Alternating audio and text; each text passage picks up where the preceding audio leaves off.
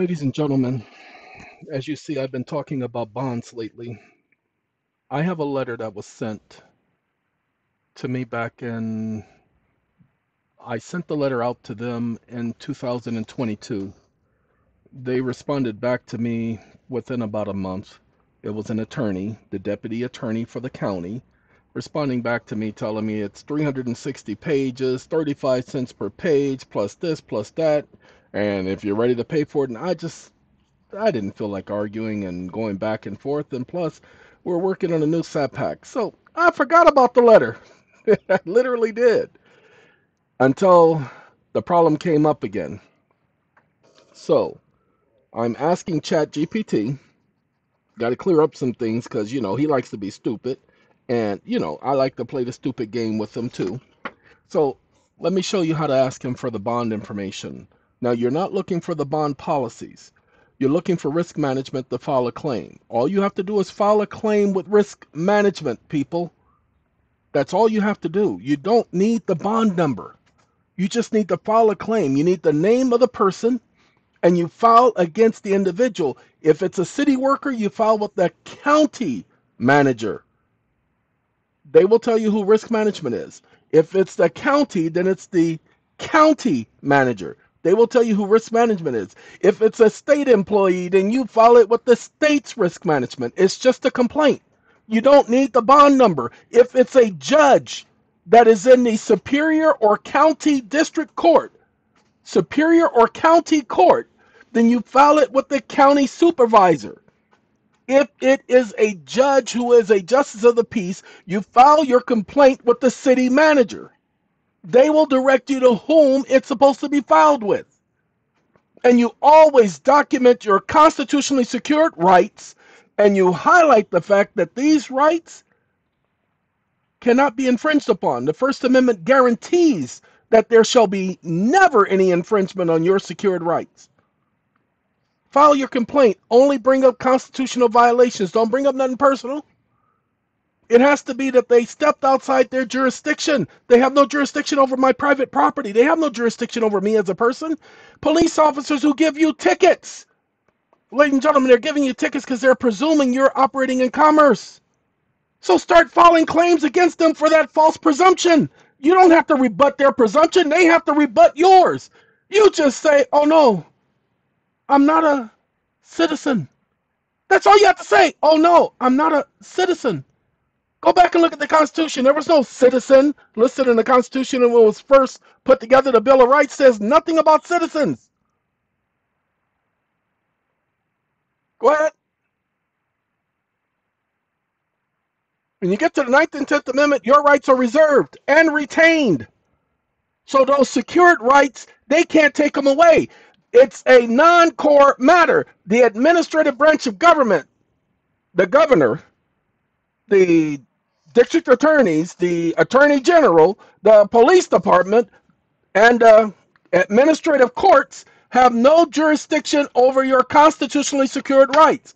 Your first question in court is Is this a non core matter? Because I'm here about the non core matter. I don't know nothing about core matters. I don't do anything in the public. That's all you have to say. You ain't got to say nothing. Is this a non core matter? I just, I'm here about a non core matter. I don't do anything in the public. And let them say whatever they want. Is this a non core matter? I'm here about a non core matter. I don't do anything in the public. And they say something else stupid. Is this a non core matter? I'm here about a non core matter. I don't do anything in the public. And that's all you got to say.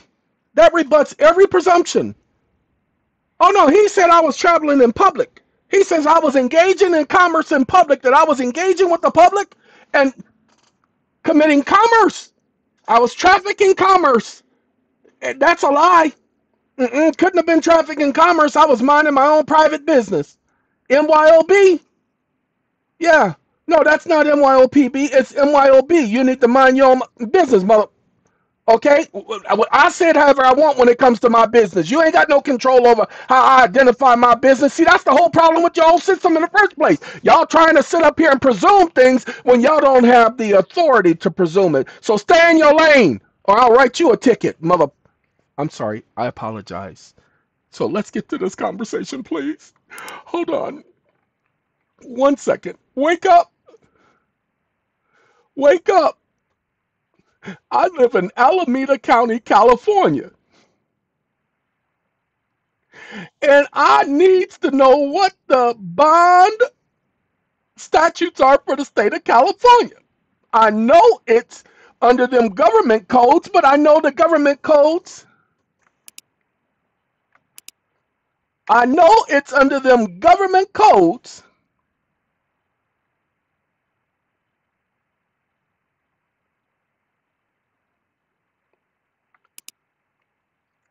Codes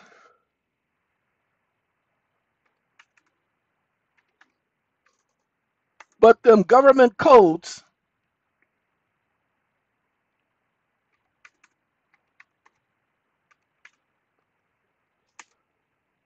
are not the only place where the law is written about the requirements for a bond, comma, and after you provide me all 25 of the laws pertaining to bonds for the state of California and the right to file a claim against those bonds,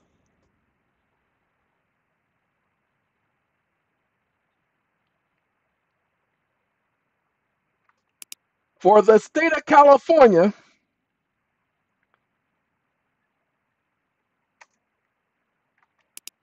then I'm going to need you to explain exactly why these people have to carry a bond. Period. I don't want no nuances. I don't want no clarifications.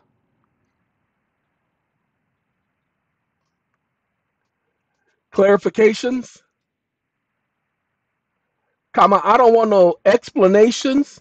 Comma, I don't want no opinions. Comma, I don't want no conjecture. Comma, I don't want no caveats. Comma, just answer my question exactly in the context in which I asked it. All right? Question mark.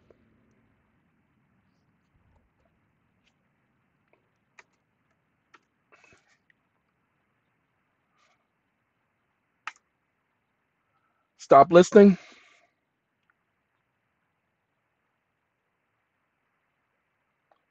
Ladies and gentlemen, you will never bring a 42 USC 1983. You will never bring a 1983. Stay away from that junk. 1983 is not the law. Okay, now let's do this. California code. He's giving me these codes because I gave him those codes. Giving me this code because I gave it to him, but I didn't give him this one. Requirement for joint power agreements to include bonds. Okay, I can live with that. Then bond for peace officers and claims against them. This section right here.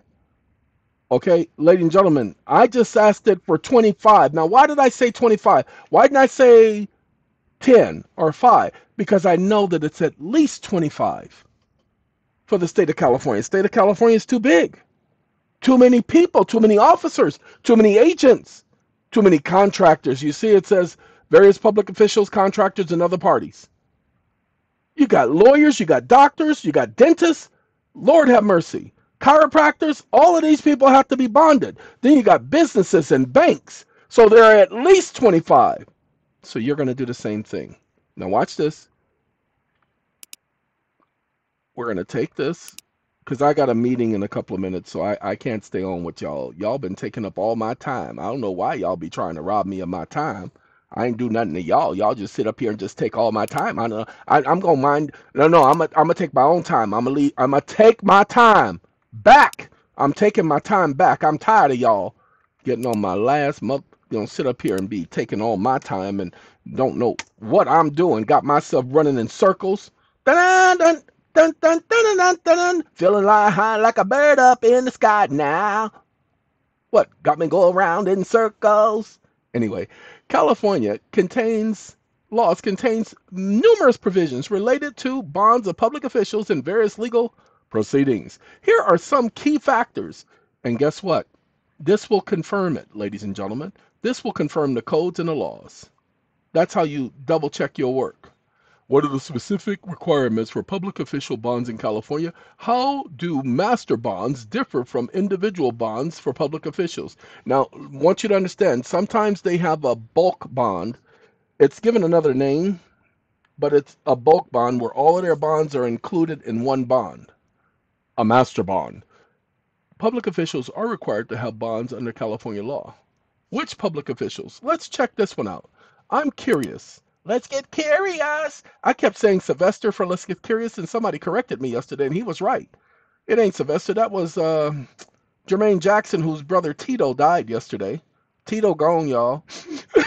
Pass me a tissue. Sorry, I'm joking, but not about his death. I'm joking about the Eddie Murphy. Tito, pass me a tissue. Come on now, get with it. No, I'm I'm actually very sorry. Tito was one of the Wait, I think Tito was the three T's. I think that was their daddy. So he was one of the ones that everybody liked. Okay. County of California government code requires the treasurers, the county clerks, the auditors, the county clerks, the auditors, the sheriff, tax collectors, tax assessors, district attorneys, recorders, doesn't matter what type of recorder they are, the assessors, the surveyors, superintendents, public administrators, Supervisors, state of California official bonds are also required for state officers as prescribed by law to be supported by either the governor or the director of general services, General Mills, and filed with the Secretary of State. Ta-da! So now you can also get their bonds from the Secretary of State. Freedom of Information Act coupled with a public records request are the equivalent. That's your language. Freedom of Information Act coupled with a public records request or its equivalent request for information. Any of that statement that I just made, however you want to reformulate it, you do it. Ladies and gentlemen, city officers, uh, city officials are required by city officials, officers to be filed with the city recorder, except where the city recorder's bond uh, which is to be filed with the city treasurer. You can get all of the information on who has what from the city manager, from the county manager, and from the governor's office, risk management department. All right, ladies and gentlemen, the bonds. Oh, we we told ChatGPT to ask that answer that question. So let's see what he had to say about why they have to carry a bond. The necessity for these bonds is typically to ensure that individuals and entities perform their duties on behalf of the state or the public maintain financial responsibility, especially for actions if they harm the public uh, as a result in public harm and liability. Wake up. Wake up. I am not a member of the public. Comma, I am a private civilian. Comma, so how do these bonds protect my rights? Question mark.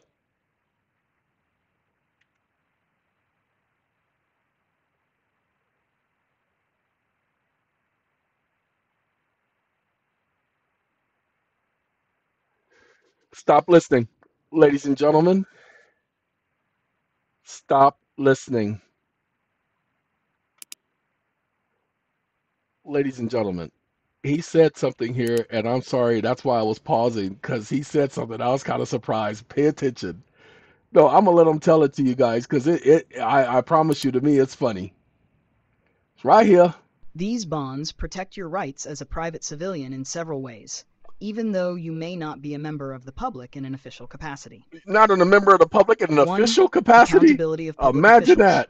Bonds for public officials, such as those required under California Government Code, uh, Pare 1450-463, ensure that government officers are financially accountable for any wrongful actions or failures to perform their duties. If a public official violates your rights or causes harm, you can file a claim against their bond to seek compensation. 2. Protection against contractor misconduct. Bonds for contractors, such as those required under the California Business and Professions Code, Track 7071.6, ensure that contractors comply with their obligations. If a contractor causes you harm through negligence or breach of contract, you can file a claim against their bond to recover damages. I'm gonna stop it right now because I don't need to know all financial safeguards for private I didn't ask him about that, but I didn't. I didn't specify judges or police officers. Okay, those are officials. Those are public officials. That, remember, they're public officials. They represent the public. They're there to protect the public. I'm not a part of the public. I am private. See, that's why they keep hemming you guys up because you all are out there in the public. Because you let that common phrase become your common phrase. Okay, they created the public people. There was no public before Congress created the public. And then they created public policy to govern the public. And the Supreme Court in Erie Railroad versus Tompkins sat up there and said, We're not under no common law no more. We're under public policy. And people let them get away with that bull because they didn't fully understand what was going on. And that's how we're here now. You don't believe me? Go do your research on Erie Railroad and what the Supreme Court had to say. And look at how they claim we don't have common law anymore. And that's why I keep highlighting the Seventh Amendment hasn't been amended, um, changed, or augmented in any way. It remains the same to the present day. So, no, y'all don't get to sit up here and play these games with me. All right, ladies and gentlemen, I got to I got to tell y'all something. I was listening to, well, I'm I'm I'm gonna listen to it like this. We're gonna take it on out of here with Gladys Knight and the Pimps. Got a song in my heart. Ooh, tell 'em, girl.